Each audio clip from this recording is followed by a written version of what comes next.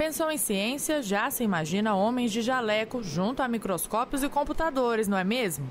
E com certeza você já ouviu dizer que ciência ou robótica não é coisa de menina. Ou que garotas não levam jeito para matemática, cálculo ou nanotecnologia. Se depender deste grupo de mulheres, isso é coisa do passado. A gente viu aqui, enquanto todas as meninas trabalhando junto, que cada menina pode contribuir muito na ciência e também na tecnologia e outros afins. E a gente sabe que a gente tem que desconstruir essa questão cultural de diferença entre meninos e meninas. O projeto Meninas na Ciência é uma das atrações mais procuradas da Semana Nacional de Ciência e Tecnologia.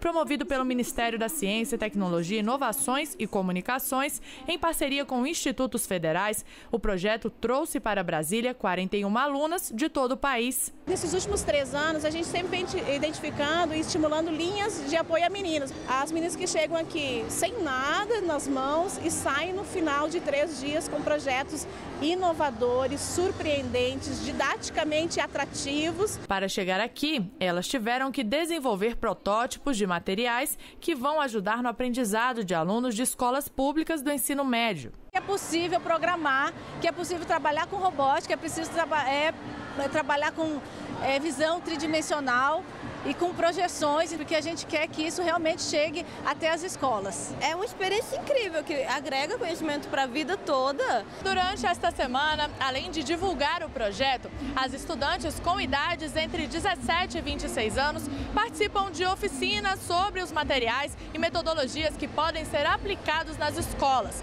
Na segunda fase, agora, as meninas devem pensar em reduzir os protótipos construídos. Tudo deve ser guardado em caixas como esta, de modo a facilitar o transporte do material. Ou seja, agora esse projeto pode ser levado para qualquer lugar. Na verdade, é um grande desafio. Eu sempre quis ensinar e achava que teria dificuldade em, nisso, mas na matemática você acaba se apaixonando, ainda mais conciliado com a tecnologia, né? Em quatro dias elas fizeram, vou dizer, quase um milagre. Poder ter essa experiência na vida é algo incrível.